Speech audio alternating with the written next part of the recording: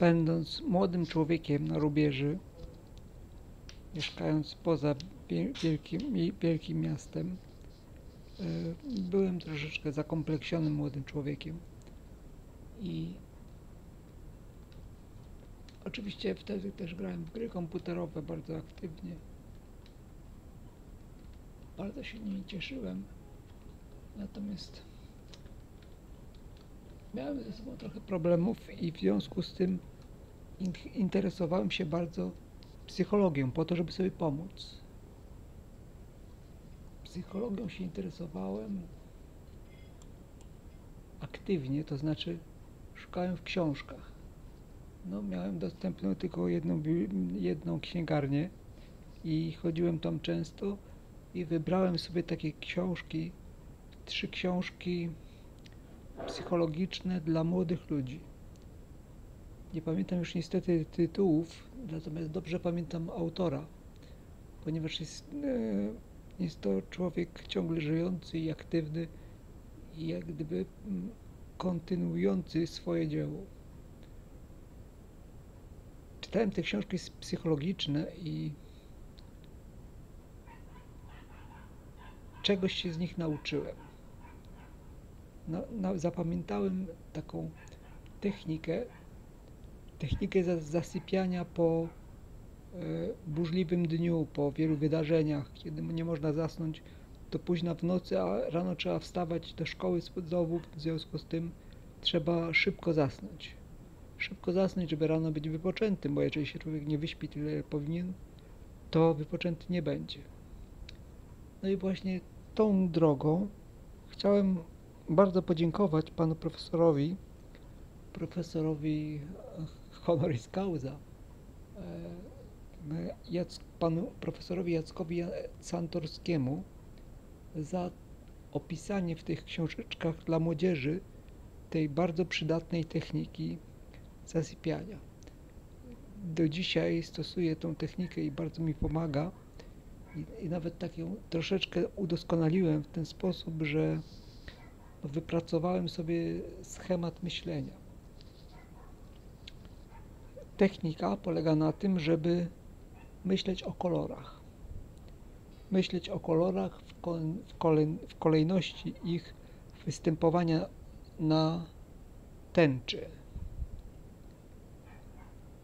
To znaczy od najdłuższych fal, czyli czerwonych, do poprzez e, coraz krótsze będzie to, jak się na, na do, przyjrzy człowiek, to zobaczy w jakiej kolejności te kolory, kolory występują.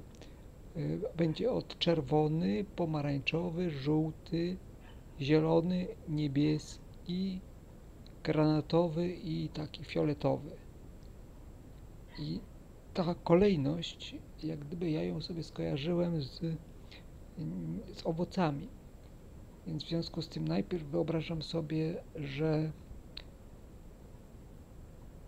jestem zanurzony, wszedłem do środka pomidora, że obserwuję świat będąc wewnątrz pomidora. Widzę tam pestki jakieś mm, pływające, ale wszystko dookoła jest czerwone. Czerwone jak pomidor.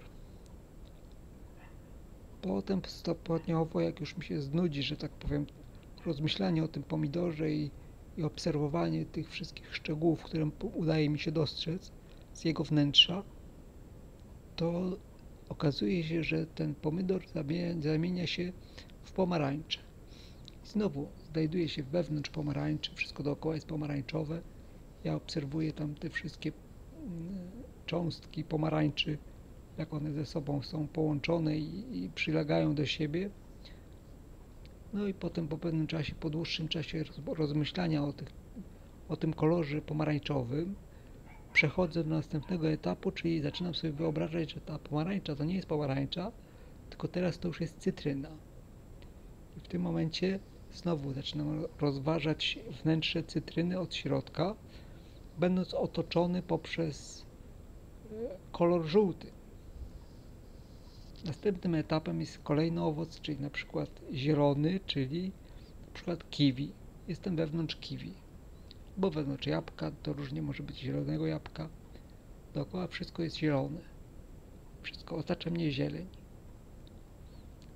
Potem wyobrażam sobie, że znajduję się w bańce powietrza, która wypływa z błękitnego oceanu.